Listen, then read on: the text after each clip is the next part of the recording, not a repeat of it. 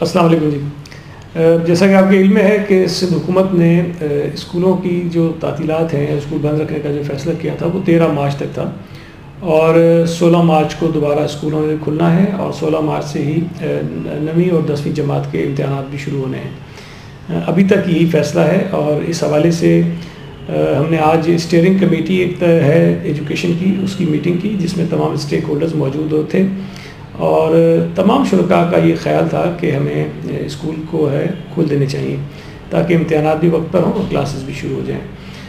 اس کے بعد ایک ٹاسک فورس چیف منسٹر صاحب نے بنائی ہے کورونا وائرس کے حوالے سے، اس کا روزانہ اجلاس ہوتا ہے۔ آج بھی اس کا اجلاس ہوا۔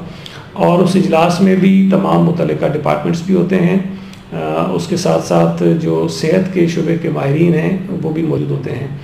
وہاں پر بھی بڑی تفصیل سے اس ایشو پر بات ہوئی اور وہاں پر بھی اکثریت کا موقف یہی تھا ماہرین کی رائے بھی یہ تھی کہ ہمیں مزید اسکولوں کو بند رکھنے کی ضرورت نہیں ہے۔ اس کی وجہ یہ ہے کہ چھبیس فروری کو جب ہم نے اسکول بند کرنے کا اعلان کیا تھا، تو اس وقت تک ہمارے پاس شاید بہت ساری تیاری نہیں تھی، بہت ساری تفصیلات نہیں تھیں ڈیٹا نہیں تھا۔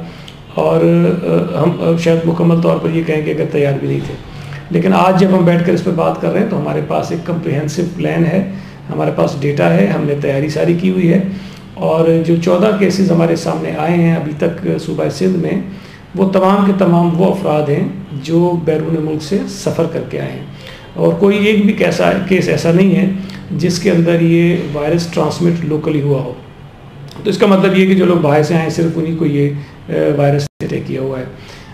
ان تمام چیزوں کو مد نظر رکھتے ہوئے، تیاری کو مد نظر رکھتے ہوئے یہ فیصلہ ہوا کہ جو کل دوبارہ ٹاسک فورس کی میٹنگ ہوگی اس میں ایک مرتبہ پھر ہم اس ایشو کو ریویو کریں گے۔ لیکن فی الحال، جو فیصلہ پہلے ہم نے کیا تھا کہ سولہ مارچ سے اسکول بھی کھلیں گے اور سولہ مارچ سے امتحانات بھی ہوں گے۔ وہ فیصلہ اپنی جگہ قائم ہے۔ لیکن کل ہم دوبارہ ریویو کریں گے۔ خدا نخواستہ، اگر صورتحال کوئی زیادہ خراب ہوتی ہے تو پھر دوبارہ اس کو ریوزٹ کیا جا سکتا ہے۔ لیکن فی الحال، ہم اسی فیصلے پر قائم ہیں کہ سولہ تاریخ سے امتحانات بھی ہوں، سولہ تاریخ سے اسکول بھی شروع ہوں۔